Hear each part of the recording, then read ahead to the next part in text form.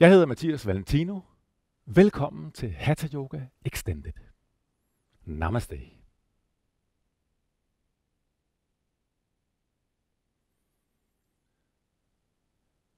Jeg skal du i den her Hatha Yoga Extended online, som er kortere end den, som du er vant til, når du er i centrene, hvor den typisk jo varer en halvanden times tid. Her vil den vare sådan 40-45 minutter. Jeg har sammensat sådan et all-round-program, øh, som det er sådan en blanding af noget bevægelse, noget stationær, muskulært, og selvfølgelig nogle længere stræk. Lad os starte med at lande på yogamotten. Hjemme i stuen, eller hvor du nu er lige nu. Så find en god sædestilling. Det kan være, at du som jeg sidder på din knæ. Det kan være, at du sidder i skrædderstillingen eller måske på en blok. Uanset hvordan du sidder, så sørg for, at du har nogenlunde ret ryg. Og med ret ryg, så luk dine øjne.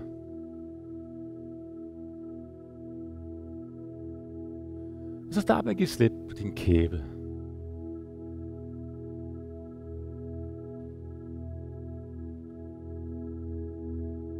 Helt afspændte kender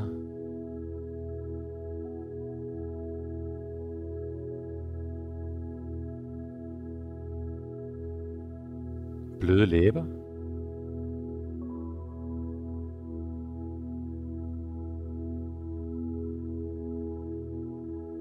Helt afspændt tunge. Læg den godt til rette i din undermund.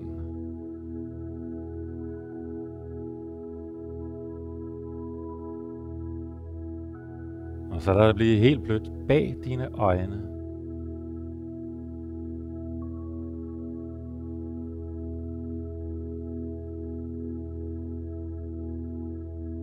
Mærk dit afspændte ansigt.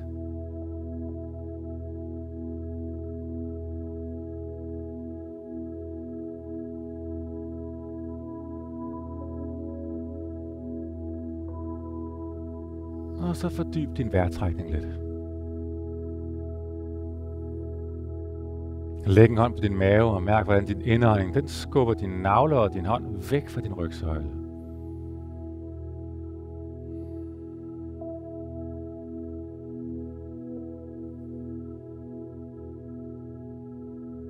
Vejrtrækning godt ned i maven.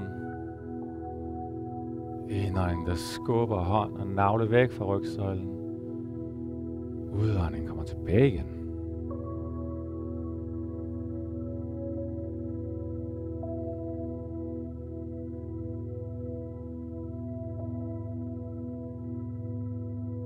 Og så inviterer jeg dig til at finde en følelse af taknemmelighed for din vejrtrækning. En vejrtrækning, som holder dig i live hver eneste øjeblik.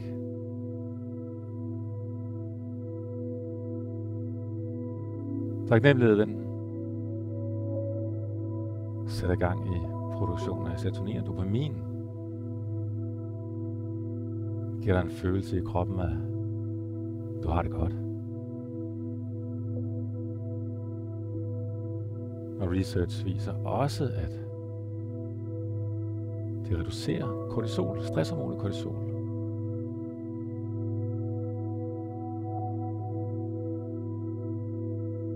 par sidste vejrtrækninger her. Helt ned i maven. Mærk taknemmeligheden i hele din krop.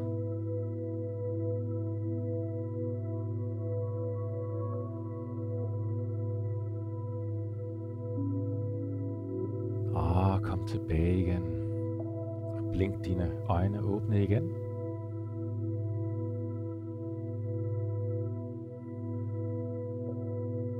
Og så placer din højre hånd ved siden af dig. Løft din venstre hånd op over dit hoved. Og på en udånding, så sænk dig let over mod din højre side. Sådan et opvarmende, ikke for intenst sidestræk. Lidt din indregning til at skabe lidt mere længde i din venstre side, og udånding til at komme en anelse dybere ned i det her stræk her. Og på den næste indregning, så kommer du op igen og udånding modsat side. Venstre hånd lander ved siden af dig, højre op over dit hoved. Sørg for, at dine hofter og baller er godt grounded. Det overkroppen, det laver strækket.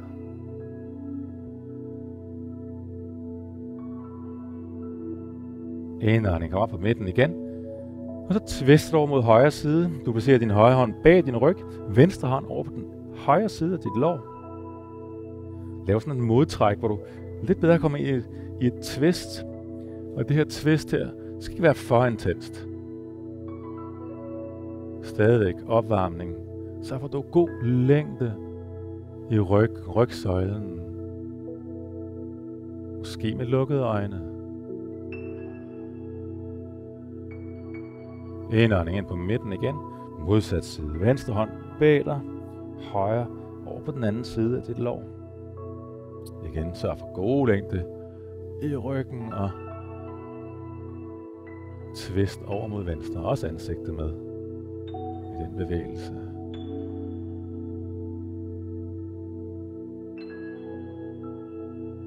Og på at jeg kom ind på midten igen. Let Og Kom tilbage igen i kroppen.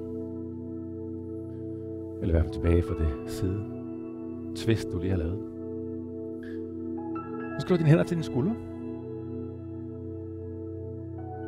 Og så skal du få en indånding ned mod din højre side.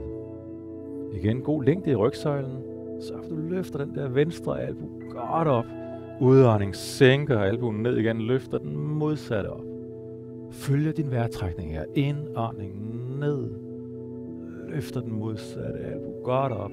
Udånding ned igen. Modsatte albu godt op. I rytme til din vejrtrækning hjemme i stuen.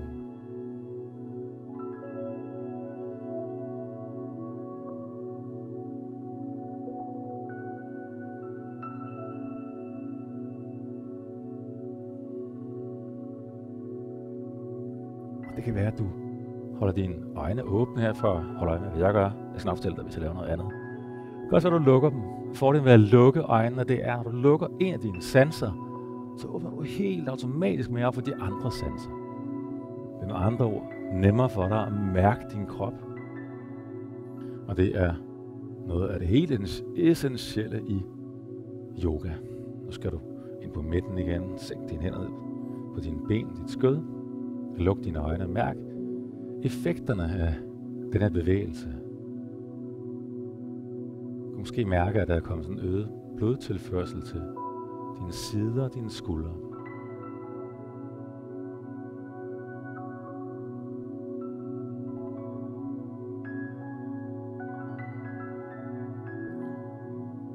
Så skal du ned på alle fire.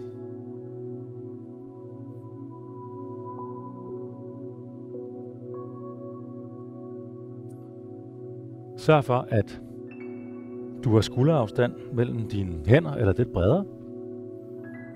Hofteafstand mellem dine knæ. Og på den næste indring, så rækker du hjerte og ansigt frem og strider med numsen. Og på en udånding, så skyder du ryg og rækker dit ansigt i retning af din navle. Følg din vejrtrækning her. Indånding frem. Løft op. Udånding modsat. Løft bagsiden op, ansigtet i retningen af din navle.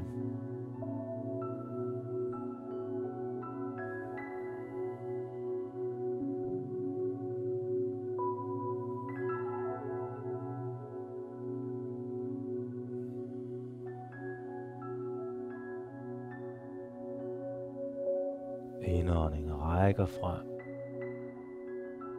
Den her cat-cow bevægelse.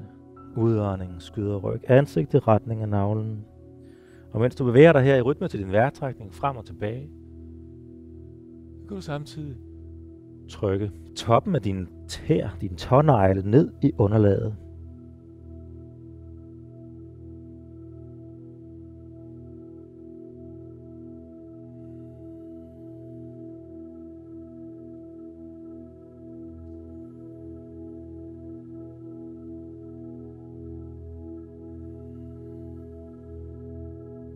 Og næste gang du er oppe, så skub din klæve til kanten af måtten og samle dine fødder. Sænk din pande i underlaget. Kom i barnets stilling. Hmm.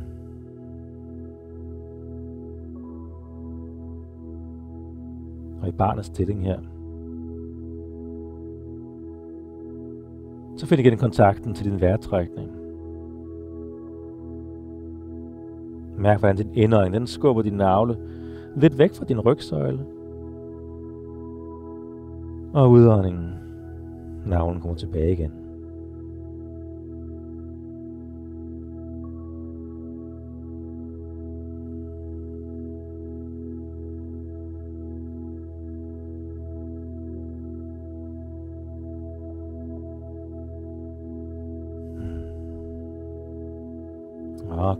Op på alle fire igen.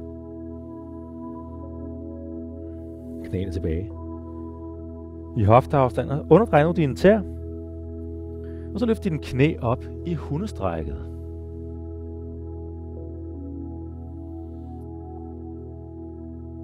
Sørg for, at du har hofteafstand mellem dine fødder. Hænderne skulderafstand eller lidt bredere. Spred dine fingre. Og så det, der hedder Tiger Claw Fingers. Du skal forestille dig dine, dine øh, hænder som en tigerklør, hvor du skal have det yderste led af dine fingerspidser. Fingerled. Det yderste led, det skal øh, sådan ligesom have fat i måtten. Grunden til det er vigtigt, det er, at du belaster meget i hundestrækket her, din skulder og dit albu og dit håndled. Når du laver den her tiger claw bevægelse med din hånd, holder fast her, så aflaster du de tre steder rigtig meget. Og nu her måske med let bøjet ben, så smelt dit hjerte i retningen af dine fødder.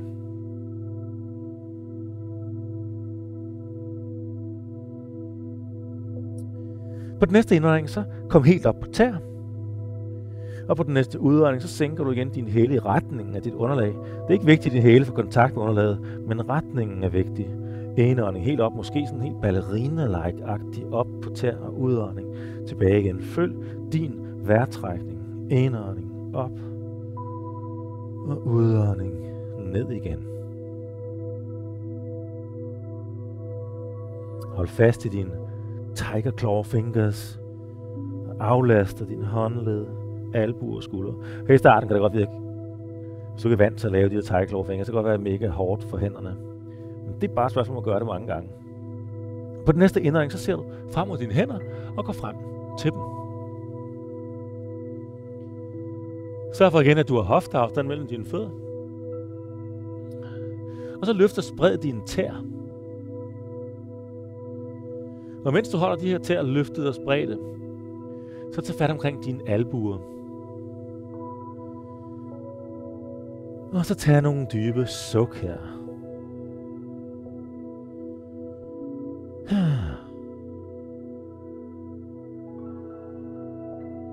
Nogle suk, hvor du giver slip på bekymringer. Giver slip på stress. Og der hjælper de her, den her sukkende bevægelse virkelig meget på at give slip helt dybt ind i dig.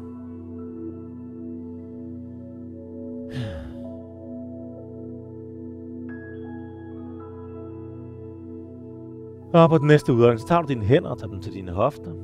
Og på en indånding, så kommer du op og stå. Strækker dine arme op. Laver en stor cirkel. Løfter op på en udånding. Hænderne mødes foran dit hjerte. Og igen indånding. Stor cirkel. Træk en skulderblad tættere på hinanden. Langt ud til siden. Stor, stor cirkel. Løft op, løft op. Udånding igen. Hænderne foran dit hjerte. Og en sidste stor cirkel her åbner op i brystkassen, løfter op og udånding hænderne foran dit hjerte. På den næste indånding, så løfter du igen op, og på den næste udånding, så folder du dig sammen som en kugle. Og på en indånding, så kommer du op og stå igen, åbner dig op, stråler som en sol, solstråler, arme og fingre, der virkelig rækker ud. Udånding, folder dig igen sammen. Det kan være, at dine fodsåler er helt kontakt her. Og hvis det er svært for dig at bevare den der fodsåls kontakt, kan det være, at du skal have lidt større afstand mellem dine fødder. Det bliver lidt nemmere. Udånding ned igen. Og et par gange mere her. Åbner op, skulderbladene tættere. Udånding, folder dig sammen igen. Sidste gang indånding, løft op igen. Og udånding, så bliver du stående og samler hænderne foran dit hjerte.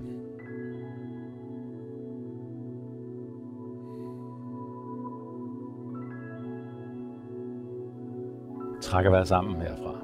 Indånding. Og udånding. Indånding, så løfter du op. Og udånding, så laver du noget kontrolleret foroverbøjning. Så får du er godt aktiveret din mave og kår, når du får dig kontrolleret forover her. Og på en indånding, så rækker du dit hjerte lidt frem. Og udånding, så træder du den højre fod tilbage på bagkanten af din måtte. Du skal sådan have en Sørg for, at det bagerste ben er strakt, og en nogenlunde ret vinkel i det forreste knæ. Og på en indånding, så løfter du dine arme op i high lunge. Herop så, sørg for igen lige at tjekke lige bagerste ben, er det stadigvæk strakt egentlig? Og har du den der rette vinkel i det forreste knæ? Skulderbladene lidt tættere på hinanden. Så du har en åben brystkasse. Aktiveret fingre. Stråler den her stilling op. Highlands. Så får du ret let sug mellem dine fødder. De kommer ikke tættere fødderne, men det giver dig sådan en aktivering af din benmuskulatur. Og udånding, så sænker du dine hænder bag din ryg. Folder hænderne bag din ryg. Måske med håndflade i kontakt. Så tager du skulderbladene lidt tættere på hinanden igen. Overarmene tættere på hinanden. Åbner din brystkasse. Hjælper dine skuldre helt tilbage. Holder suget mellem fødderne din grounding i stillingen. Vi sidder hele dagen lang foran en computer, og de fleste af os foran vores telefon, foroverbøjet. Skuldrene falder frem. Skuldrene har derfor rigtig brug for at blive Tryk godt tilbage. Den der modbevægelse.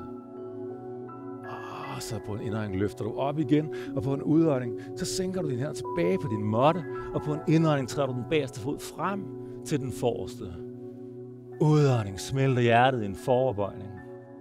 Indånding rækker hjertet lidt frem igen. Og udånding, så træder du din venstre fod tilbage om bagkanten af måtten. Og på den næste indånding, så løfter du op i high lunge på den anden side. Gentjek lige. Ret vinkel i forreste knæ. Strakt bagerste ben. Skulderbladene lidt tættere. Åben brystkasse åbne arme, hænder, der stråler. Fødderne suger du tættere mod hinanden. De kommer ikke tættere. Det aktiverer dine ben. Udånding. Hænderne mødes bag din ryg. Folder dine hænder. Måske med håndflade kontakt. Træk skuldervandet tættere. Overarmene tættere. Holder sug mellem fødderne. Åbner din brystkasse. Par vejrtrækninger mere her.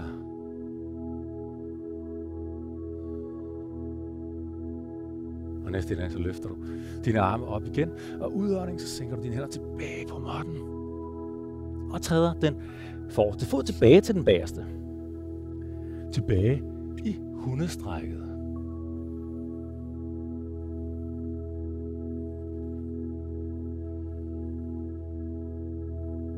Strækker dig lidt i din hund her.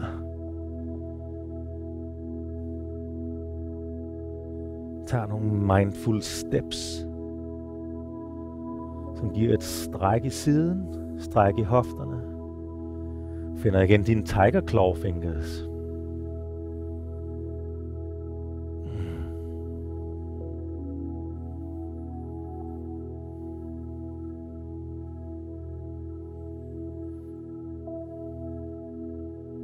Så kommer du i planken. Vi skal lave sideplanken. Du skal have højre hånd i underlaget. Ud på ydersiden af din højre fod. Og så løfter du dine hofter og din venstre arm. Igen her, sørg for, at du har stærk standhånd. Tiger claw fingers. Aflaster håndled, albuer, skuldre. Så får du har sådan en lille mikrobøj i dit albu, så du ikke sådan er helt overstrakt, men lige sådan en lille bøj, så du beskytter din, dit albuled, og lad dine muskler arbejde. Venstre arm, der stråler og strækker stillingen op. Aktiveret fingre på venstre hånd. Udånding tophånden til måtten til den anden side.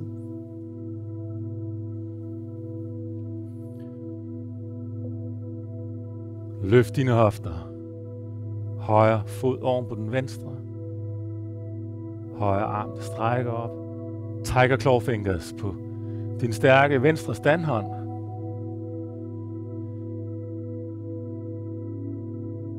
Mikrobøj standalbuen. Par vejrtrækninger mere her.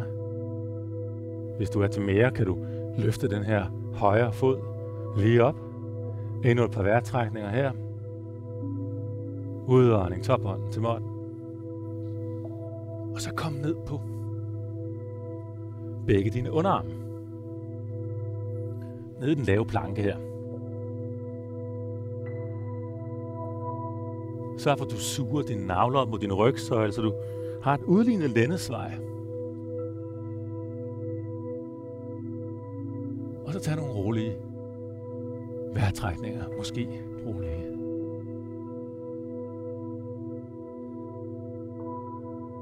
Så ved en mulighed her, sørg for, at du virkelig arbejder hårdt i din kår her. Det kan du ikke undgå. Men sørg for så vidt muligt at være afspændt alle andre steder. Ansigtet helt afspændt. Hænderne er også afspændte.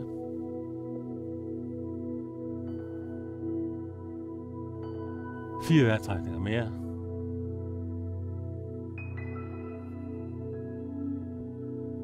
To mere.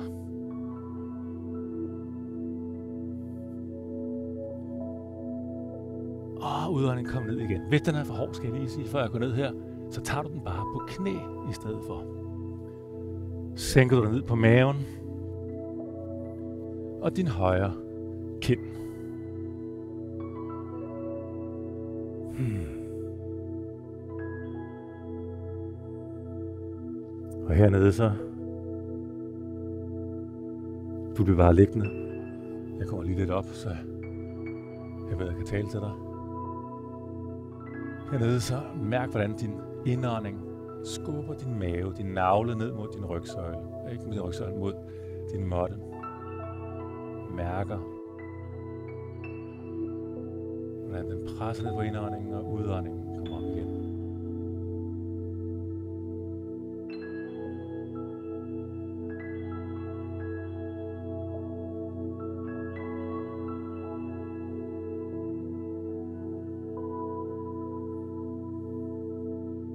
skal vi have fat i græshoppens stilling.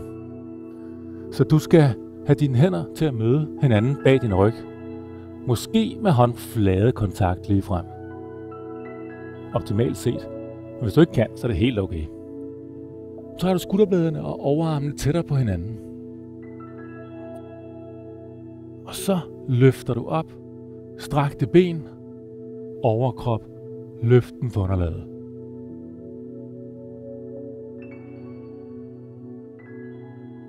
Træk vejret.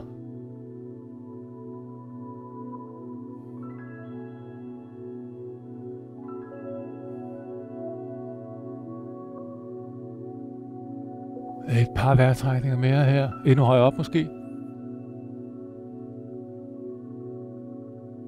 Ah, og udånding, så sænker du dig ned på din højre kind igen. Luk dine øjne og mærk effekterne.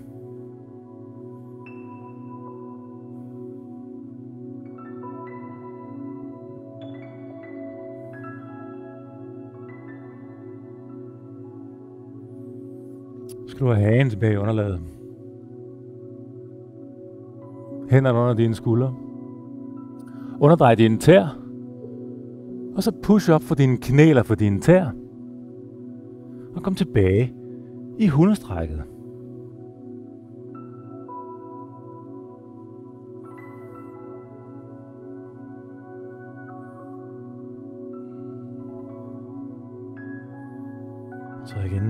Mindful steps her i hundestrækket. Tiger claw fingers, stærke fingre. Yderste led af fingerspidserne, det er virkelig at fatte din måtte.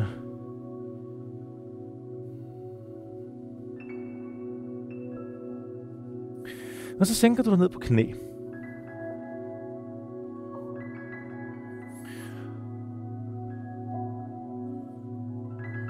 Hvis du synes, det er meget ubehageligt at sidde på knæ, så fold et tæppe, eksempelvis, som du lige ruller og lægger ind mellem din baglov og din, og din lægmuskel. Hvis det her det er, føles meget nemt for dig, så kan du avancere den lidt mere, sådan som du sad, da du var tre år.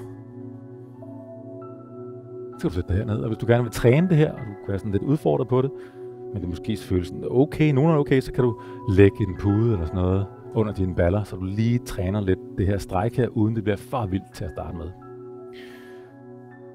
Nu skal du have din venstre hånd om bag din ryg. Højre hånd, den skal om bag dit hoved.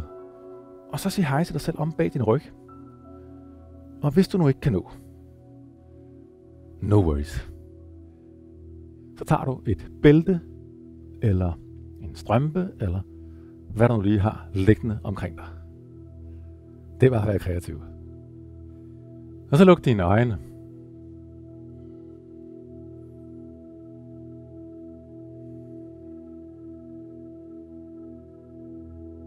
Og guide din indånding derhen, hvor du mærker udfordring. Der, hvor du mærker strække særlig meget. Det kan være din venstre skulder. Visualiser at din indånding skaber mere plads i det område.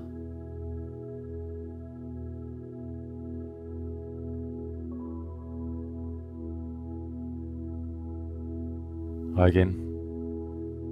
Fordelen ved at lukke øjnene her, det er, at det er nemmere at visualisere med lukkede øjne for de fleste. Udånding, så giver du slip igen, og så prøv lige at mærke et øjeblik. Forskellen på de to sider lige nu. Bare lige sådan registrere forskellen. Der er forskel, kan jeg fortælle dig. Men hvordan føles den i din krop lige nu? Så tager du højre hånd om bag din ryg. Venstre hånd om bag dit hoved. Siger hej til dig selv. Igen. Og det kan være, at du har en meget anderledes følelse på den her side. Der kan være ret stor forskel på de to sider. Det kan også være, at du igen har brug for en en god lang strømpe, eller hvad du har omkring dig. Luk dine øjne igen. Og igen. Brug din visualis- visualisering til at, eller brug din indånding til at skabe mere plads. Visualiser den her øget plads, der hvor du mærker udfordringen. Der hvor du mærker din manglende fleksibilitet.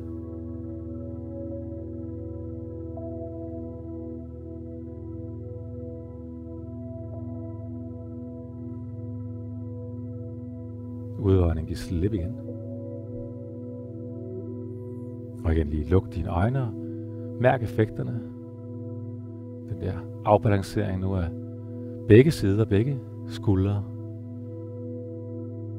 Så er blevet åbnet yderligere op. Og igen også med den der tilbagetrukkethed, som du har så meget brug for, hvis du sidder meget foran en computerskærm, eller sidder med telefonen en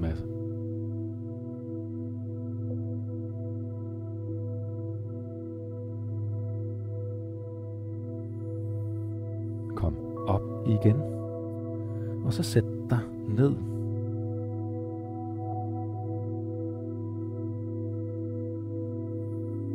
Og læg dig ned på ryggen.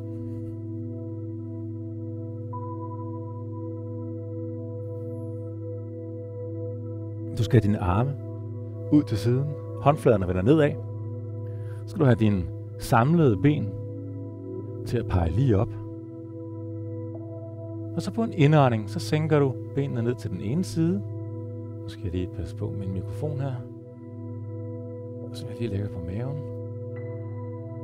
Eller ved siden af mig. Indånding sænker ned. Udånding, så stemmer du fra. Få den op på midten igen. Indånding kommer over til den modsatte side. Udånding stemmer du op igen. Tag nogle flere gange her, og lad dit hoved gå i modsat retning. Mikrofonen skal vi se, om jeg komme udenom her. Indånding. Sænker ned. Modsat hoved. Udånding. Stemmer op. Indånding. Modsat. Du skal egentlig have dit hoved i kontakt med underlaget hele tiden. Det kan jeg bare ikke på grund af mikrofonen, jeg har.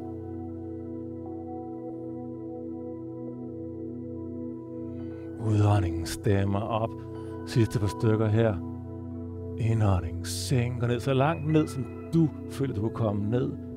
Op igen. Og så sænker du dine fødder. Tilbage på dit underlag.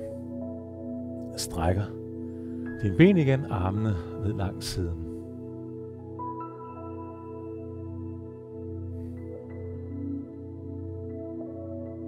Og så trækker du dine fødder tættere på dine baller.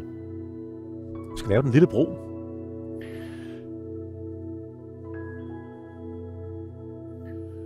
Du skal arme ned langs siden, og så skal du bøje dine arme, sådan, så du har sådan underarmene, der peger opad, sådan stridtende, aktiverede fingre, der går opad også. Så løfter du dit bækken. Dit bækken så højt op, du kan. Sørg for, at du har vægten på indersiden af dine fødder. Og så stem fra med dit baghoved.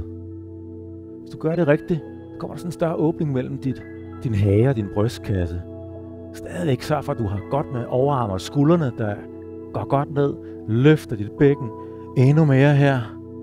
Måske vægten holder du på indersiden af dine fødder. Endnu et par vejrtrækninger her. Baghovedet måske lidt mere. Stem ned, løft bækkenet. Sidste indånding endnu højere. Og udånding, så sænker du igen dine baller tilbage på underlaget. Lukker dine øjne. Mærker effekterne. At altså, stillingen er fantastisk for din lænd og for din nakke.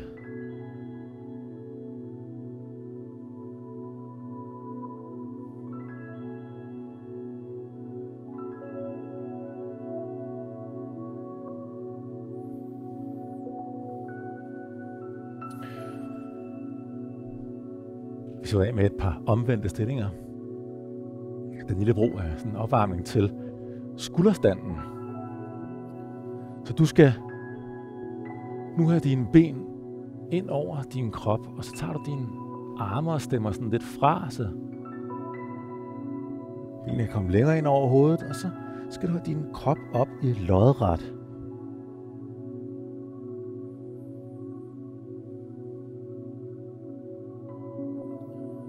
Og jo mere du sådan støtter din, jo højere oppe du støtter din ryg, jo tættere på din skulderblade du kommer, jo mere lodret kan du også blive i den her stilling her.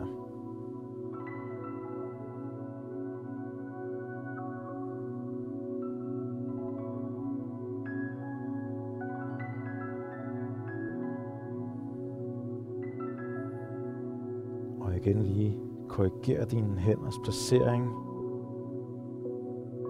I får dem lidt tættere på din skulderblade, lidt tættere på din nakke.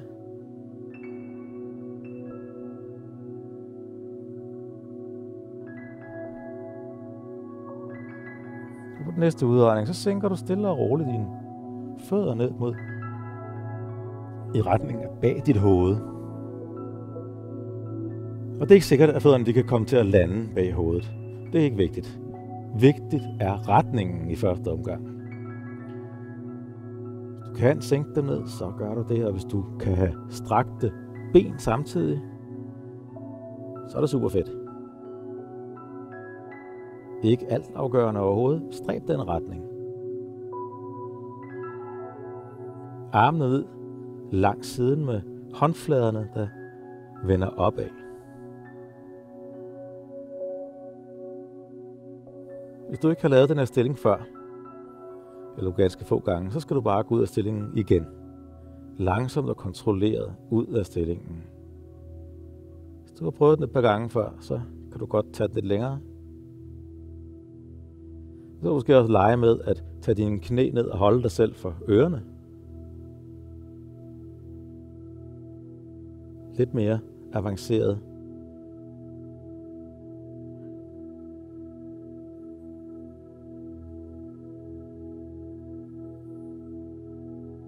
Og nu skal vi langsomt og kontrolleret ud af stillingen igen. Læg dine hænder på din lænd, så du stille og roligt og helt kontrolleret kan gå ud af stillingen. Langsomt, langsomt. Indtil dine fødder igen lander nede. Luk dine øjne og mærk effekterne her. Den øgede blodtilførsel, aktivitet, specielt omkring din hals og pande.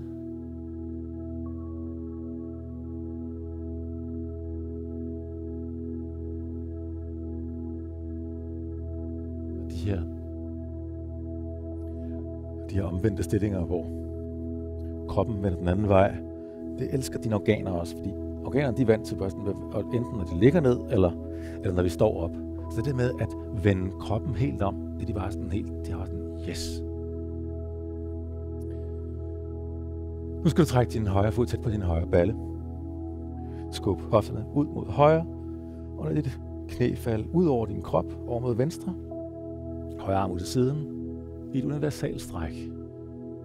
Dit ansigt peger lige op mod loftet, og luk dine øjne. Helt afspændt. Kæbe.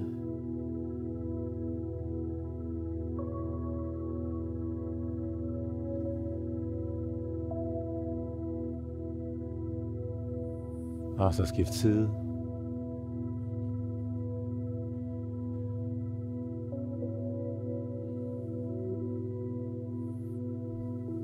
Lukkede øjne. Lad dig blive helt blødt bag dine øjne.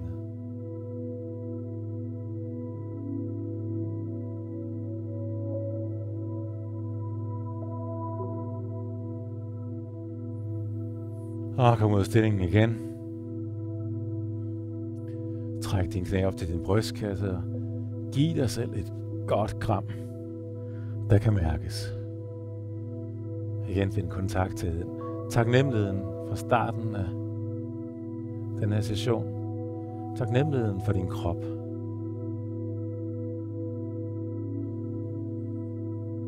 Og så læg dig ned på ryggen til den afsluttende Shavasana. Afsluttende afspænding. Du skal armen ned langs siden med åbne håndflader.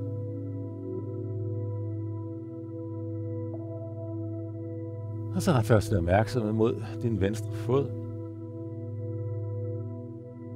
Der hvor du har din opmærksomhed, kan der være, der mærker en let prikkende varmende fornemmelse.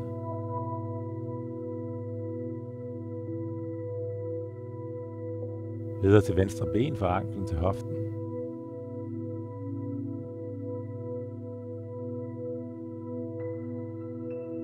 Højre fod og ben.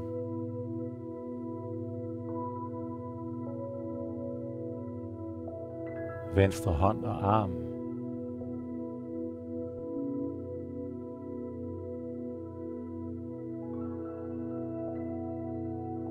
Højre hånd og arm.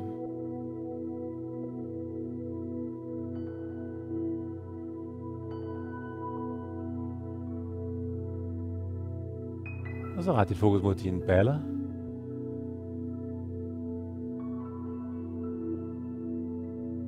Og dit køn.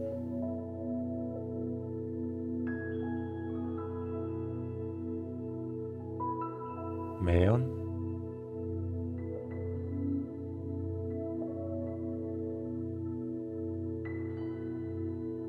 Ryggen.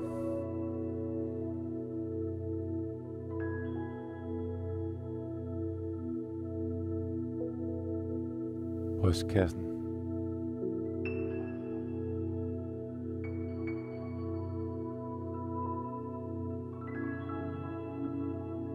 nakke og hals.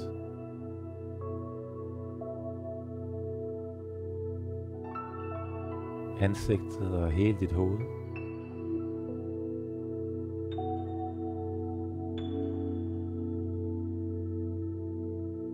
Og det du mærke til afspændingen af hele din krop.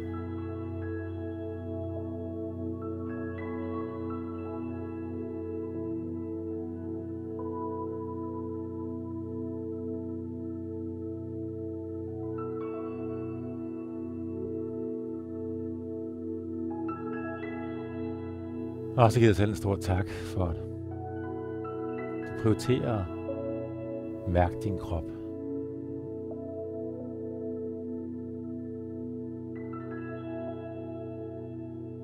Du skal langsomt tilbage igen. Bevæg først dine fingre og tær. Og kom tilbage med en dyb vejrtrækning.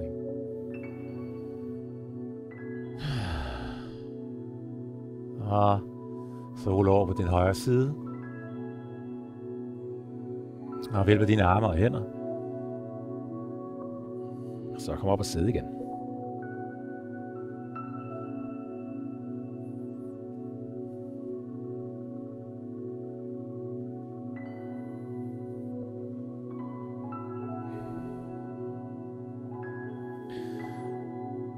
Og så sammen med dine hænder foran dit hjerte. Det var alt for nu. Tak for dig. Namaste.